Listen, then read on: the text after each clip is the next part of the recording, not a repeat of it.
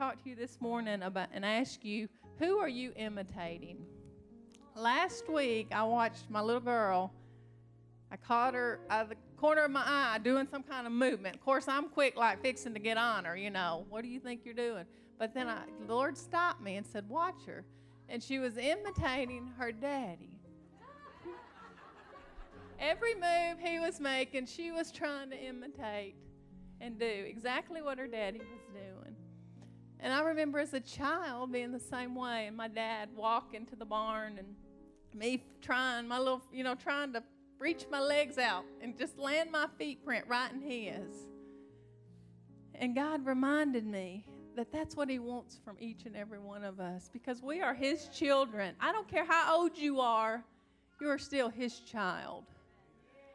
And just like I watched her imitate her daddy, God wants us to watch and imitate him. He tells us in Ephesians 5:1, "Therefore be imitators of God as beloved children." I love the way the message says it, and I want to read it in the message Bible version when they get that up. So, but um it says Hmm, 5 1. Ephesians 5 But it's telling us to be imitators of God. And, and I don't have it here, and, the, and they'll get it in just a minute. But I love the way it reads. And so that's what we need to do. We need to all make sure that we are imitating our daddy Jesus in everything we do. Here it is. It says, "Therefore, be imitators of God as beloved children." Okay, if y'all when y'all get it in the message, we'll. But that's what we need. We need to be imitators of the way what He would say. We need to say how He would walk, talk. That's what we need to do. Amen. And are we doing that? Or are we imitating other things in the world? Here it is. Watch what God does. Thank you guys. Y'all are awesome. Watch what God does. And then you do it like children who learn proper behavior from their parents. Amen? And parents, are children learning proper behavior from you? If you're imitating the Father, then they are. But what are they learning from you? 1 Peter 2 1 21 says this in the ESV. 1 Peter 2 21. I can turn to it if I need to. I, have been cheating, just writing it down, depending on them. But listen, let me turn to it. there it is. Okay. This is the kind of life you've been invited into, the kind of life Christ lived. He suffered everything that came his way so you would know that it could be done and also know how to do it step by step. Step by step, God has laid it out for you on how to do this, how to walk out your life in this world, in this ungodly world. Amen.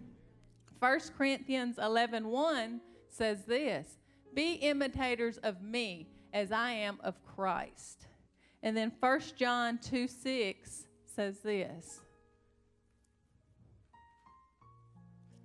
Whoever says he abides in him ought to walk in the same way in which he walked.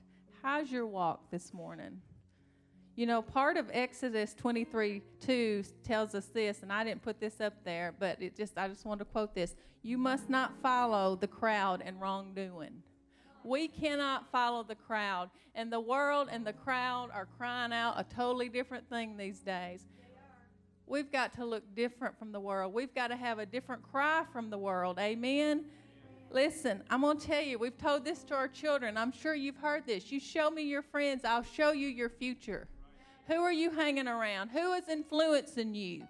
Because I guarantee they're going to influence you the wrong way if they're not walking with God.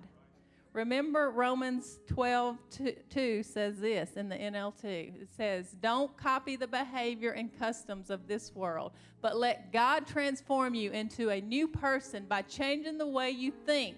Then you will learn to know God's will for you, which is good and pleasing and perfect. Amen. So, who are you imitating? I ask you this morning, who are you imitating? Does your behavior and your lifestyle look like God and His kingdom? Or does your uh, life look more like the world? And are you following the crowd? Therefore, be ye imitators of God. I encourage you this morning to watch Daddy. See what Daddy does. See what Daddy tells us to do and do it. Amen. Your life will be so much more blessed. Amen.